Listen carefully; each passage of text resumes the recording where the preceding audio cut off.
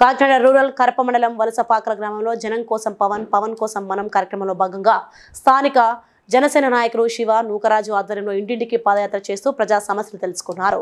Janasena party PSC సభ్యులు Kakinada rural incharge పంతం నానాజీ మరియు తెలుగుదేశం నాయకులు డాక్టర్ చప్పిడి వెంకటేశ్వరరావు.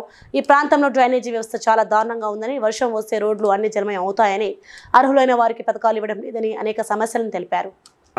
ఎక్కడెక్కడో ఉన్న లేఅవుట్లు ఎక్కడెక్కడో గ్రామాలు ఎక్కడెక్కడో గ్రామాలు అన్ని తీసుకొచ్చి ఈ గ్రామంలో వీళ్ళ స్థలాలు ఇచ్చారు.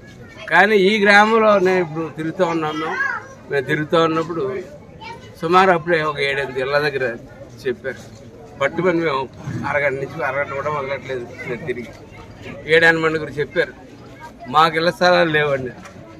నీ గ్రామంలో ఎక్కడెక్కడో ఎవరెవరికో నువ్వు అమ్ముకుని ఇక్కడ వచ్చి ఈ గ్రామంలో లేకపోవడం అనేది చాలా అన్యాయమైన విషయం. దాని మీద ముందు ముందు మేము ఖచ్చితంగా దృష్టి రామచరం నుండి అక్కడే కొత్త బడ్డీ తూము వరకు రెండు వేల రోడ్డుకి రెండు వేల పద్దెనిమిదిలో ముప్పై లక్షలు శాంక్షన్ చేశారు. కోటి ముప్పై కోటి ముప్పై లక్షలు శాంక్షన్ చేశారు. దాన్ని తెలుగుదేశం వాళ్ళు శాంక్షన్ చేశారు కదా అని చెప్పి వాళ్ళ పేరు ఎక్కడ వస్తుంది అని చెప్పి వీళ్ళు ఆపేశారు. ఇది. అదే రకంగా ప్రత్యేకంగా ఈ గ్రామంలో చూస్తూ ఉన్నాం. ఎక్కడ డ్రైనేజ్ లేదు. ఇటు నుంచి అటు అటు. అరవై రోజుల టైం ఉంది.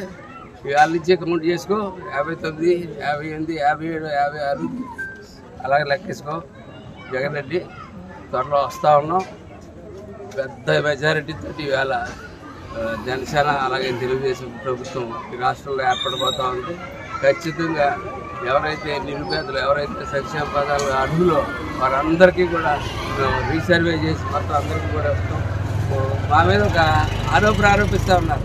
వీళ్ళు అభివృద్ధి ఒకటే చేస్తారు సంక్షేమం చేయరని చెప్పి మా మీద ఒక ప్రచారం చేస్తూ ఉన్నారు వైసీపీ వాళ్ళు. మేము ఒకటే చెప్తా ఉన్నాం. Please like and share subscribe to BCN Telugu news please like share and subscribe to BCN Telugu news